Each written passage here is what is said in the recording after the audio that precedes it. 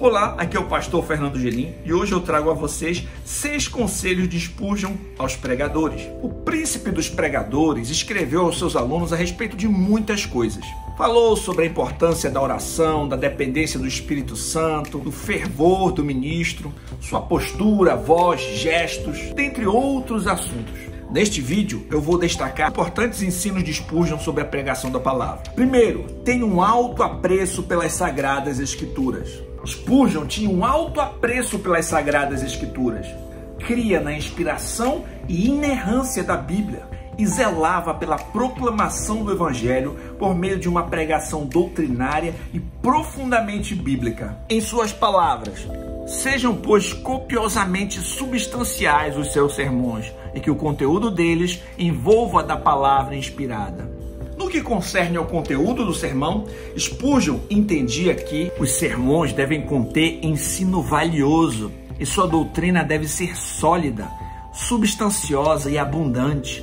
Não subimos ao púlpito para falar por falar, isso nos leva ao segundo conselho. Pregue as escrituras e não as suas ideias. Ele entendia que nada produzido pela mente do pregador se compara a proclamar o ensino bíblico. Spurgeon afirmou: nada pode compensar a ausência de ensino. Toda a retórica do mundo é apenas o que a palha é para o trigo, em contraste com o evangelho de nossa salvação. Lutem para serem avaliados pela qualidade da substância que apresentam. É loucura ser pródigo em palavras e avarento quanto à verdade. Spurgeon sabia que os ouvintes precisam de explicações precisas das Sagradas Escrituras. E aqueles que a desejam ardentemente, isto é, os que têm fome pela palavra de Deus, precisam tê-la. Em complemento, o príncipe dos pregadores afirmou que esse ensino substancial deveria ser coerente com o texto. Ou melhor, deveria ser extraído dele, como observamos na seguinte assertiva: Em regra, o sermão deve brotar do texto, e quanto mais evidente assim for, tanto melhor. Todas as vezes, porém, para dizer o mínimo, deve ter a mais estreita relação com ele. Spurgeon entendia o perigo de pregadores usarem o texto somente como pretexto para as suas próprias ideias. Por conta disso, afirmou: Alguns irmãos não querem mais saber do texto logo depois de o terem lido. Havendo prestado toda a devida honra a essa passagem particular ao anunciá-la, não vem mais necessidade alguma de referir-se a ela. Completando esse raciocínio, ainda escreveu: Certamente as palavras do livro inspirado nunca se destinaram a ser fivelas de sapatos para ajudarem o tagarela a firmar suas botas de sete léguas com as quais possa saltar de um polo a outro. Será que você já não teve experiência de ouvir um pregador que abre a Bíblia, lê a passagem e fica falando de outras coisas e nunca mais volta para aquela passagem? É contra isso que ele está falando aqui.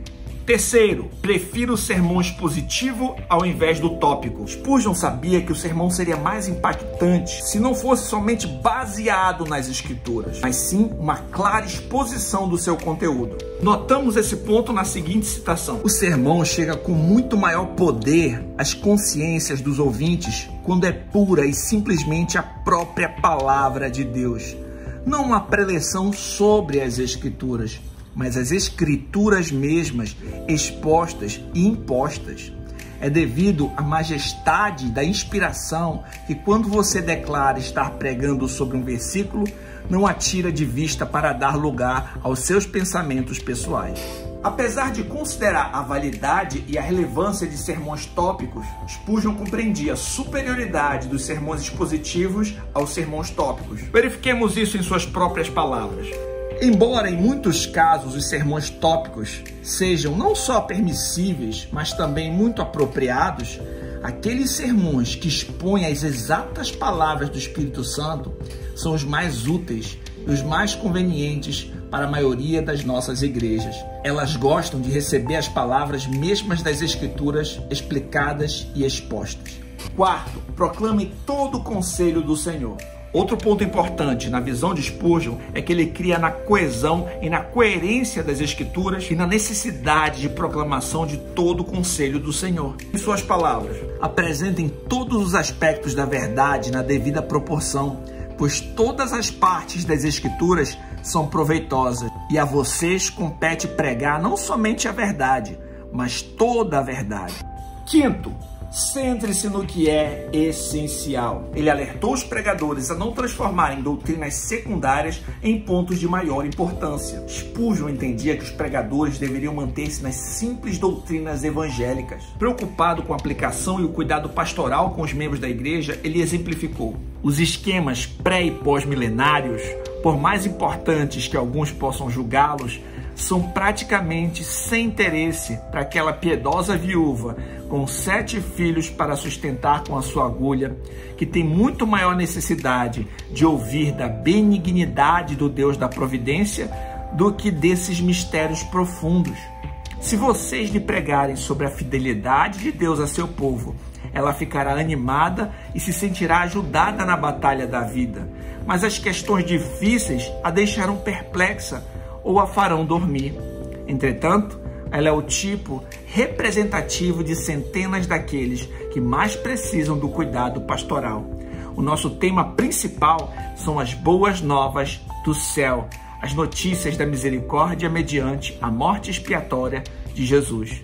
Misericórdia para o maior pecador que crê em Jesus. Outra parte, ele afirmou: são piores ainda aqueles que desperdiçam tempo insinuando dúvidas sobre a autenticidade de textos ou sobre a correção de afirmações bíblicas acerca de fenômenos naturais. Sexto, zele pela pregação do Evangelho.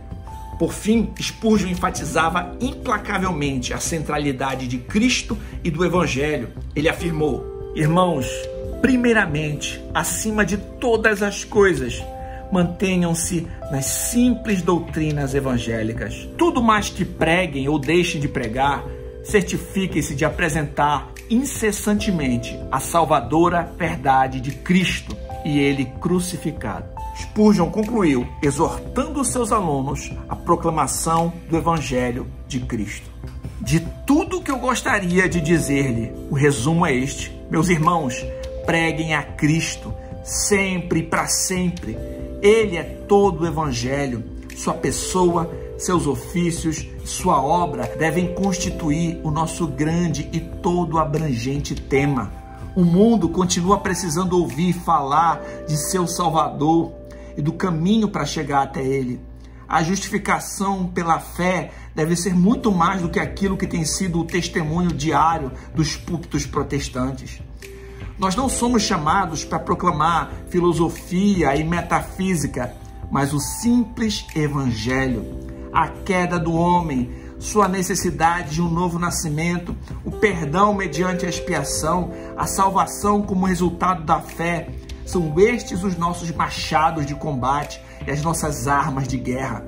Temos bastante que fazer para aprender e ensinar estas grandes verdades, e anátemas sejam aqueles aprendizados que nos desviam de nossa missão ou aquela caprichosa ignorância que nos faz cochear quando procuramos cumpri-la.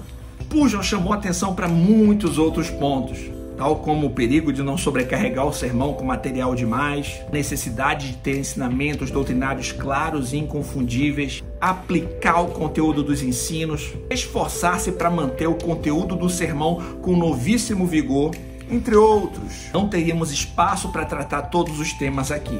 Todavia, considerando os temas abordados, compreendemos que Charles Spurgeon tinha alta consideração pelas sagradas escrituras e seus sermões eram de caráter profundamente bíblico. Vimos que para o príncipe dos pregadores, a centralidade de Cristo e o anúncio das boas novas eram os pontos fundamentais do conteúdo de uma pregação bíblica. Que o exemplo desse piedoso servo do Senhor nos motive a valorizar e proclamar a palavra de Deus.